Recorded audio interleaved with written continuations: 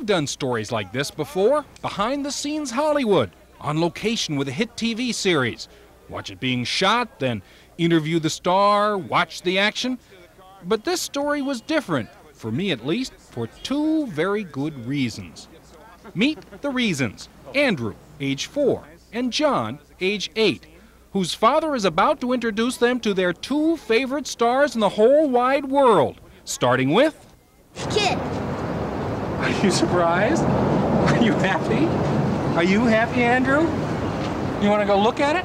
Okay. KITT is, of course, the computerized, talking, crime fighting superstar with a high tech dashboard, a hypnotic scanner, and a supreme sense of self esteem. Slang use of words is beyond me.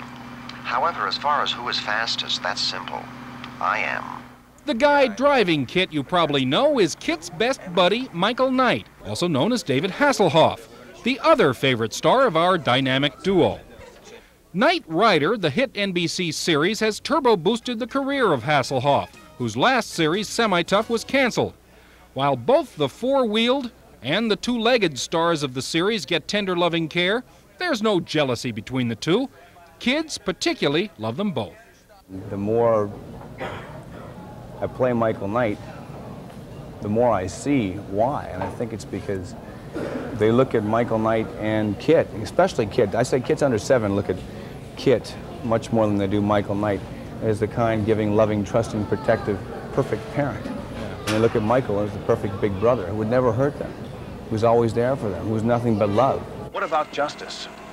You sent me out here to stop these burglaries and to catch the people involved. Michael Knight's lone wolf character is quite different from Hasselhoff, who willingly gives out autographs and helps keep the crew loose during the sometime 20 hour days required to shoot Knight Rider. He'll even put up with an interviewer who brings in some ringers to keep asking more questions. I want to know how you did that with KITT and the bull. That was one of the more dangerous days because, see, you can't, bulls don't understand English. And whatever we say to them, they won't do it. We tried moo, we tried moo over there.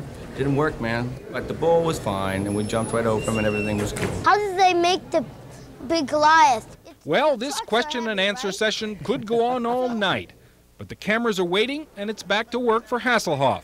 Then there's a final exchange of gimme fives and some memories to last a lifetime. I'm John Corcoran.